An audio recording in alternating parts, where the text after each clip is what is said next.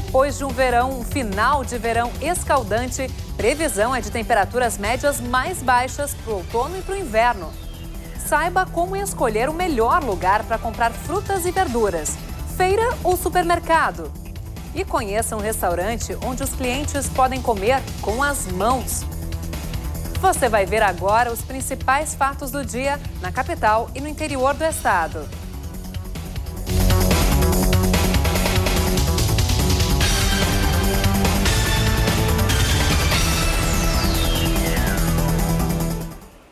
Para garantir o direito de participar da escolha dos novos prefeitos este ano, os eleitores de 46 cidades gaúchas precisam fazer o recadastramento biométrico até o dia 16 de março. Com o prazo se esgotando, os cartórios estão cheios. Em Viamão, os moradores enfrentam longas filas. A espera por atendimento pode durar até 8 horas. Com calor de mais de 30 graus, foi preciso improvisar cadeiras e guarda-chuvas para se proteger do sol, além de muita é. paciência. Estou apavorado, né? Já, tô, já entrei na fila, mas já estou louco para desistir. Mas vou tentar, né? Porque tem que fazer. Né? Espero pegar um atestado, né? Para comprovar, né? Que eu fiquei esse tempo todo aqui na fila esperando, né? Quanto tempo? Oito horas. A central de atendimento conta com a ajuda de 40 estagiários do TRE 25 cedidos pela Prefeitura e Câmara de Vereadores e 15 militares. Cerca de 100 mil pessoas ainda não passaram pelo processo, apesar do recadastramento ser realizado desde julho. A gente trabalha a partir das 9 horas da manhã, não fechamos ao meio-dia e distribuímos senhas para quem estiver na fila às 18 horas para atendimento nesse mesmo dia. Para fazer o cadastramento biométrico é preciso levar os seguintes documentos: documento com foto, como RG, carteira de habilitação, profissional ou passaporte. Comprovante de residência atual, de preferência de dezembro, janeiro ou fevereiro. Documento que comprove mudança de dados, como nome ou estado civil.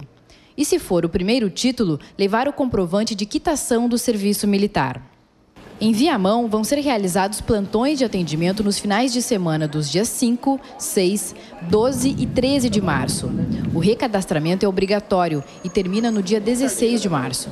Já em Porto Alegre, a biometria ainda não tem validade para as próximas eleições, mas muita gente já está se antecipando. Eu adiantei até porque eu estou de férias, né? Então aproveitando porque o movimento semana que vem é maior. Quem está enfrentando fila para a biometria agora não precisa refazer o processo no futuro. Para evitar mais demora na realização do cadastro e outros serviços, a central de atendimento vai mudar o sistema. E nos próximos dias nós passaremos a, a, a priorizar o atendimento via agendamento. Então as pessoas terão que fazer o agendamento pela internet. Para mais informações, busque o site do Tribunal Regional Eleitoral. E se você é daquelas pessoas que estão sofrendo com o calorão dos últimos dias, aí vai uma boa notícia. Nos próximos meses, as temperaturas médias aqui no estado vão ser mais baixas na comparação com os últimos anos. Um calor que não dá trégua. É bem difícil, né? Eu não estou muito acostumada mais porque eu estava morando em Florianópolis durante 25 anos e agora retornei.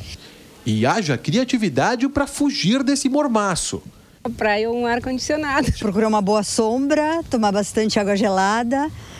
Mas apesar das temperaturas típicas da estação, os próximos dias devem ser menos quentes do que nos últimos dois anos. No período foram registradas ondas extensas de calor, com termômetros beirando os 40 graus. Pode fazer um ponto ou outro isolado do estado uma temperatura mais alta, mas no geral a tendência é de normalidade. Temperatura na casa dos 34, 35, 36 graus à tarde em todo o Rio Grande do Sul, mas nada de calor excessivo assim durante vários dias seguidos, não. Também as chuvas estarão dentro da normalidade para o restante da estação, com precipitações entre 120 e 140 milímetros. Uma boa pedida para quem quiser curtir o restinho do verão na praia. Já sobre a ocorrência de ventos fortes, como os que atingiram a cidade no fim do mês passado, o meteorologista diz que a probabilidade é pequena. De precisar onde vai ser, né, quando vai ser, isso já fica um pouco mais difícil, é uma questão já de monitoramento dentro de algum instituto. Mas, no geral, dá para se dizer que não podemos descartar, mas de forma muito isolada. Mas, independentemente do verão e das temperaturas, tem coisas que não mudam, hábitos que são sagrados. Uma caminhada e depois um chimarrão para matar sede, né? Só ele mata a sede. E com todo esse calorão dos últimos dias, parte dos novos ônibus que começaram a circular esta semana em Porto Alegre sofrem com um problema antigo a falta de ar-condicionado. Menos de 40% dos quase 300 veículos estão equipados com o sistema. Mas, mesmo nesses equipados, a população enfrenta problemas, porque muitas vezes eles circulam com a refrigeração desligada, o que pode gerar multa e apreensão do ônibus ônibus cheios e com ar-condicionados desligados. Em dias de verão, parece mentira, mas acontece. Fica bem difícil e normalmente eles não têm ar ligado, porém isso é somente na linha Praia de Belas. De repente, eu acho, sempre desconfiei, na verdade, que é em função da linha e dos bairros por onde ele circula. Desde que começaram a circular no início da semana, alguns dos novos ônibus têm sido criticados por trafegarem com o ar-condicionado desligado. Para a EPTC, a infração é grave e deve ser notificada pelo usuário. A gente vai até o local onde esse veículo se encontra. O que, que a gente faz? O que, que a fiscalização faz? Ela fa faz o levantamento e verifica se o ar-condicionado ele está em perfeitas condições ou não. Caso de não estar em perfeitas condições, esse veículo ele é recolhido e ele é autuado. Segundo o Código de Trânsito, a multa é de 257 reais nos dois casos, para aparelhos desligados ou com problemas. A denúncia informando a linha e o prefixo do veículo pode ser feita pelos telefones 156 e 118. A identidade da pessoa permanece anônima. Subiu para 51 o número de casos de dengue confirmados em Porto Alegre este ano. 28 foram contraídos na própria cidade, a maioria na Zona Sul. Conforme balanço epidemiológico divulgado hoje pela Prefeitura, foi confirmado na capital apenas um caso do vírus Zika, importado. Outros 17 são investigados. Até o momento, ainda não há confirmação de pacientes com febre chikungunya.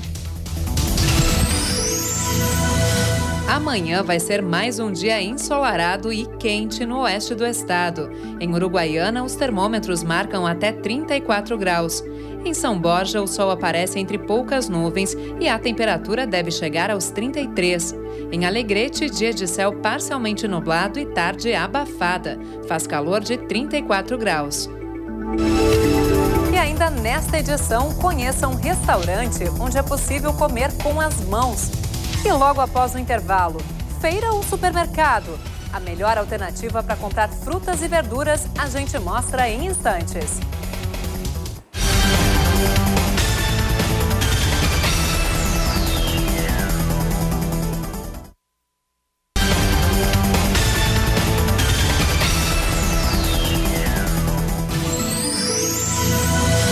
Calorão não dá trégua na região metropolitana. Amanhã a temperatura chega aos 35 graus na capital. O sol predomina, mas não se descarta a ocorrência de chuva passageira à tarde. Pode chover também em pontos isolados de Novo Hamburgo, onde os termômetros alcançam os 34 graus. No litoral norte, depois de uma manhã de sol, tem previsão de chuva rápida, máxima de 32 graus em Tramandaí. Professores, diretores de escolas e representantes das 30 coordenadorias regionais de educação participaram hoje da abertura do ano letivo 2016. Foi no Teatro Dante Baroni da Assembleia Legislativa. Entre os temas abordados, a campanha de combate ao Aedes aegypti e o programa contra o bullying. Os estudantes das mais de 2.500 escolas da rede pública estadual voltam às aulas na próxima segunda-feira. E depois de um 2015 de forte alta, o desemprego na região metropolitana de Porto Alegre ficou estável no primeiro mês do ano. A taxa medida pelo DIESE, Fundação de Economia Estatística e outras entidades também, se manteve abaixo dos 10%, como em dezembro. Mesmo assim, as incertezas econômicas deixam muita gente preocupada com o emprego. A curva do desemprego em janeiro ficou praticamente no mesmo lugar. De 9,6% em dezembro do ano passado, a região metropolitana de Porto Alegre começou 2016 com a taxa de desemprego em 9,7%. Um alento frente a um longo período de crescimento da taxa. Em um ano, 72 mil pessoas a mais estão desempregadas. No ano de 2015, a gente tem uma, uma situação de deteriorização do nosso mercado de trabalho que vinha nos últimos anos se, se recompondo. Né? A gente tinha salários melhores, muitas pessoas empregadas. O ano de 2015 deu uma a, a, desestruturada em tudo isso, menos pessoas trabalhando.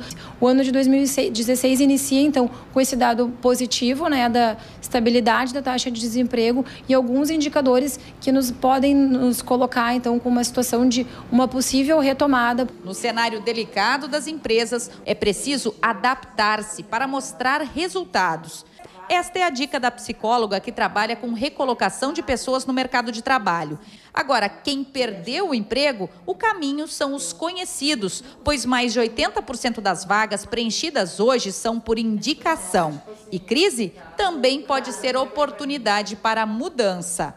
É aquele momento em que a pessoa que foi demitida e estava no emprego na qual ela não estava satisfeita, estava trabalhando numa função na qual ela não fazia com gozo, ela pode nesse momento buscar aquilo que lhe satisfaz, né? E se reinventar, buscar uma nova área de atuação e ser feliz. Marcela se reinventou. Ela é formada em fonoaudiologia, mas sempre precisou fazer bicos. Vendeu trufas, roupas, foi auxiliar de enfermagem para aumentar a renda. Só que um destes trabalhos extras cresceu e ela largou a profissão. Hoje é diretora executiva de vendas de uma marca de cosméticos e ganha oito vezes mais.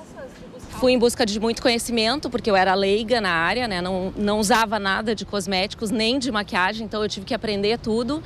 Mas quando a gente tem reconhecimento e retorno financeiro, vale a pena. Dinheiro não cai do céu, né? Então a gente precisa sim também ter a, a nossa parte de dedicação, de estudo, de em busca do conhecimento, de estar tá em busca do que o mercado nos oferece, né? E em tempos de crise, a regra também é pesquisar preço para economizar, claro. Mas afinal, onde é mais barato comprar frutas e verduras? Encher o carrinho ficou mais caro.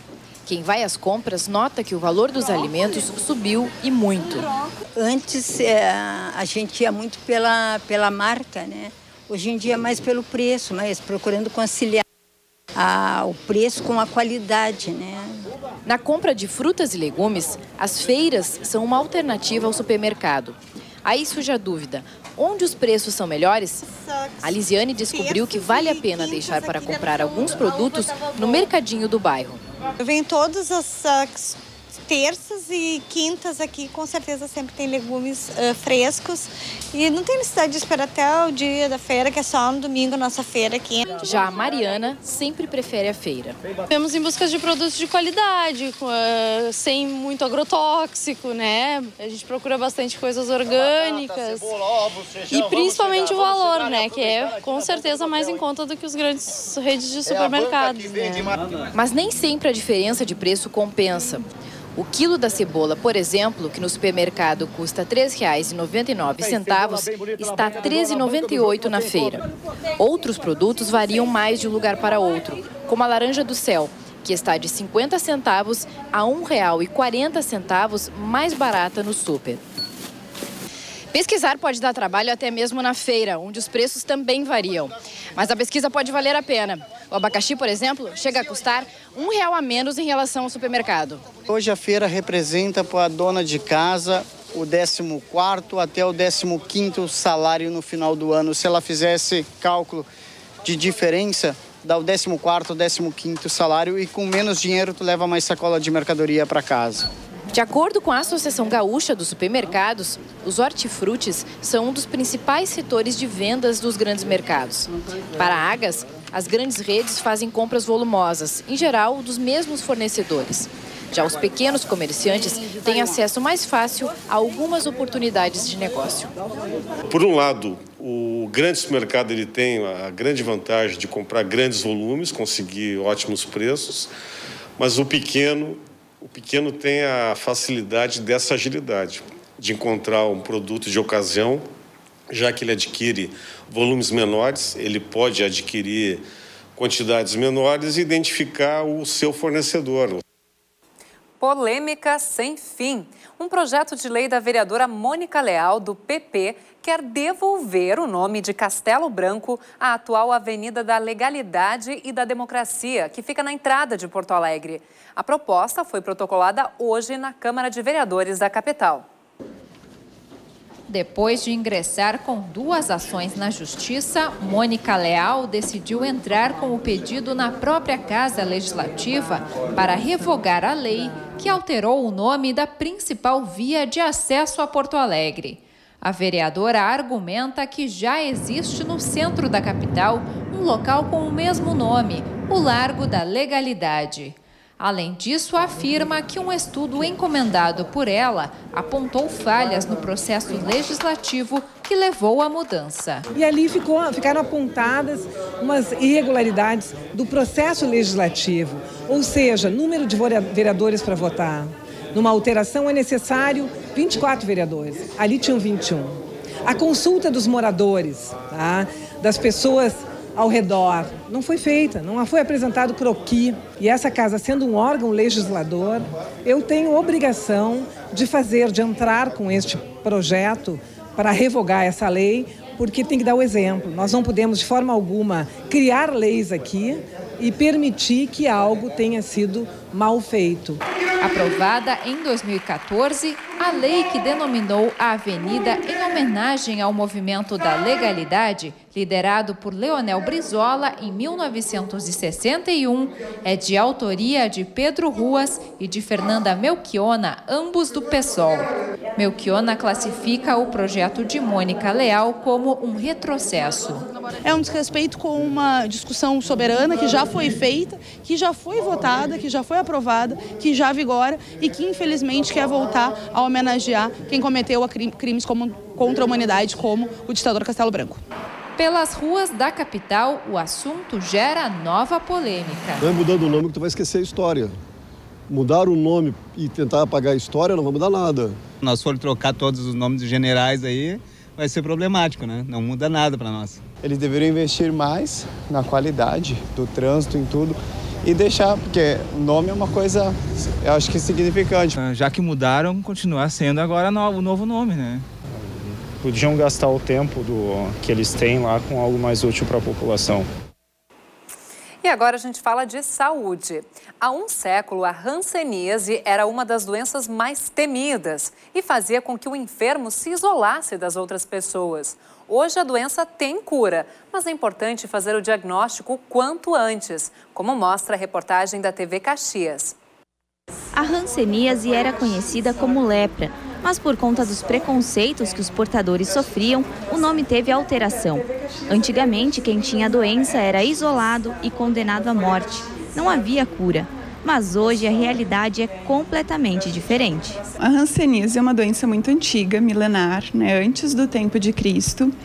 É uma doença uh, contagiosa, tá, causada por uma bactéria, e a transmissão é através das vias aéreas superiores. Então, gotículas da fala, espirro, tosse. A doença tem uma evolução muito lenta, podendo demorar anos antes de aparecerem os primeiros sinais e sintomas. Esta paciente teve os membros superiores e inferiores afetados. A descoberta da doença demorou três meses. Fazia três, quatro meses já que fazia exame e eles não descobriam o que eu tinha, né? Daí só foi descoberto através de uma biópsia que eu fiz. Daí se comprovou que era hanseníase. E o que que tu sentia? Ah, eu sentia muita dor, inchaço nos pés, nas mãos. Eu não conseguia mais nem me movimentar mais. As formas avançadas, quando não tratadas, podem evoluir com sequelas graves para os portadores, inclusive com mutilações e deformidades físicas. A lesão ela se manifesta normalmente como manchas de pele, né, que podem ser uh, de cor branca, avermelhada ou mesmo amarronzada, e é característica da doença a perda de sensibilidade nessas lesões. O ambulatório de Hanseníase em Caxias do Sul acompanha 53 pacientes com a doença e um está em fase de tratamento. A Hanseníase tem cura e o atendimento é gratuito nas UBSs do município. Em apenas 15 dias de tratamento, tomando a medicação correta, a paciente já notou resultados animadores. Falaram que tinha cura, né? Fiquei bem contente. E daí eu comecei o tratamento, né? Para mim foi bom, acalmou a dor e e já melhorou bastante, já consigo me movimentar melhor, né? Apesar de ser uma doença contagiosa, ela não é mais transmissível após o início do tratamento. E dependendo do caso, a cura pode acontecer entre seis meses e um ano. A melhor forma de prevenir a doença é mantendo o sistema imunológico eficiente, ter boa alimentação, praticar atividades físicas e manter uma boa higiene. Nesta quinta-feira, o sol predomina na Serra, só que tem chance de pancadas de chuva à tarde. Em Caxias do Sul, os termômetros alcançam uns 30 graus. Em Passo Fundo, o tempo fica instável, com grande variação de nuvens e chuva passageira ao longo do dia, máxima de 28. Em Ijuí também pode chover, mas na maior parte do dia o sol aparece entre nuvens. A temperatura não deve passar dos 29 graus. E veja depois do intervalo um restaurante onde, além do cardápio, o cliente também pode escolher se quer usar talheres ou simplesmente comer com as mãos. Nós já voltamos. Na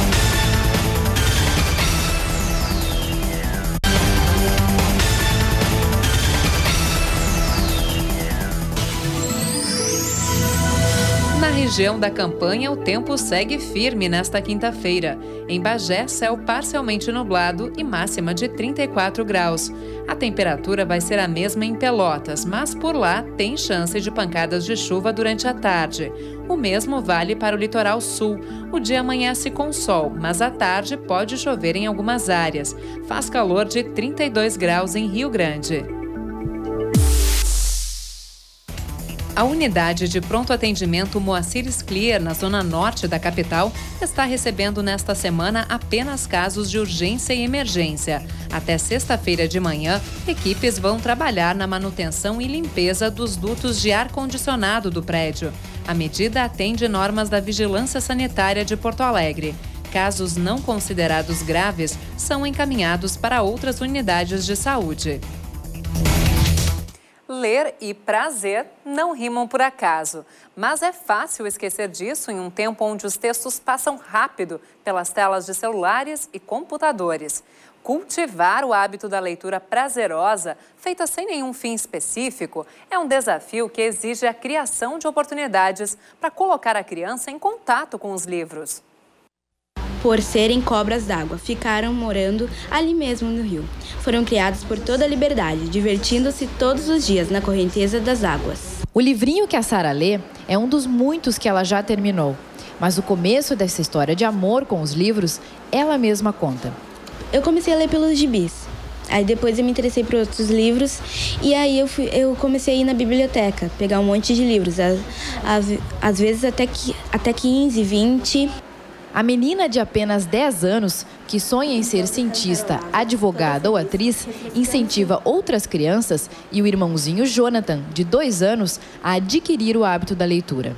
Eu leria para o meu irmão quando ele começasse a ir para a escola, uh, ensinaria ele a ler, para começar a ler livros, que é muito legal.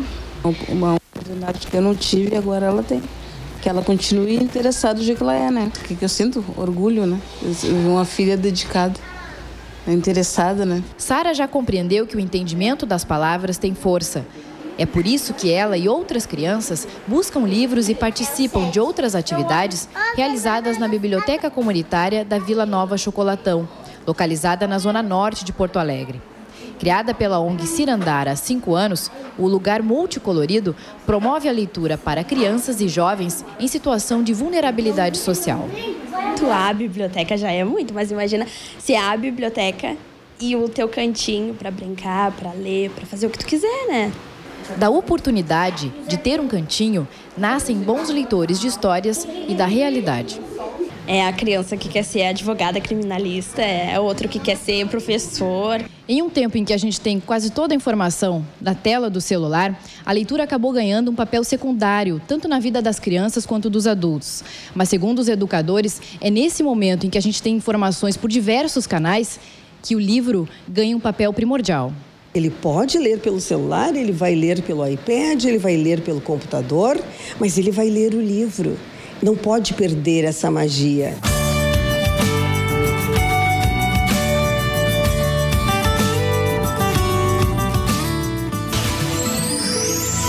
Nesta quinta-feira não deve chover no centro do estado e o calor continua. Em Santa Cruz do Sul, máxima de 34 graus. Em Santa Maria, o tempo fica parcialmente nublado e a temperatura chega aos 33 graus. Previsão de sol e poucas nuvens também para a Cachoeira do Sul. O dia vai ser bastante abafado. Os termômetros marcam de 26 a 34 graus. Uma experiência gastronômica diferente agora é alternativa no bairro mais boêmio de Porto Alegre, a Cidade Baixa. Lá as pessoas podem comer como se estivessem na própria casa. Descubra o porquê. Um restaurante em uma rua movimentada, com clima agradável, para sentar e comer com os amigos. Até aí, tudo muito normal, exceto pela ausência de dois itens sobre a mesa: o garfo e a faca. Por que comer com as mãos? Ah, isso na verdade é um negócio de família, assim, né? E a família já fazia isso. O, o Paulo, que é meu pai, outro sócio do restaurante, ele é chefe. É, e isso a gente percebia que era uma forma de, ao sentar para comer, trazer um clima mais mais amigável, mais descontraído, mais festivo. E a novidade foi muito bem recebida. É muito incrível. Eu sempre fui adepta assim de comer com as mãos, sempre que eu posso, eu opto. Então eu me identifiquei muito com o bar, achei uma ideia incrível. É uma novidade, né? A gente está acostumado a comer nos bares batatinha frita, tá, alguns petiscos, mas assim todo o cardápio com as mãos é diferente, né? Eu sempre fui fã desse, desse estilo, então um restaurante, um barzinho da cidade com esse estilo é muito legal. A maioria dos visitantes ainda não arrisca muito e pede petiscos tradicionais. Mas a ideia é estimular as pessoas a testar comidas mais complicadas. As entradas são níveis fáceis, porque as pessoas já estão acostumadas a comer os bolinhos, o camarão. Os pratos são mais complicados. As sobremesas têm sobremesas com sorvete, então o sorvete dá uma lambuzada maior, com doce de leite, com chocolate. É, mas nada que deixe a pessoa ainda constrangida. A gente vai estar tá entrando com os pratos mais desafiadores. Ao abrir o cardápio, o cliente se depara com instruções de como comer com as mãos. É um manual que, com muito bom humor, explica o que fazer em caso de sujeira. Mas se mesmo assim a pessoa não se adaptar, a gente conta um segredo. Os talheres estão escondidos em um ponto estratégico e podem ser usados em caso de emergência. O restaurante não se considera étnico, mas se inspira na culinária de diferentes países, já que comer com as mãos é um costume em muitas culturas. O sabor compensa qualquer falta de habilidade. Tá aí o desafio. E nós voltamos amanhã às sete da noite com novas informações. Uma boa noite para você e até lá!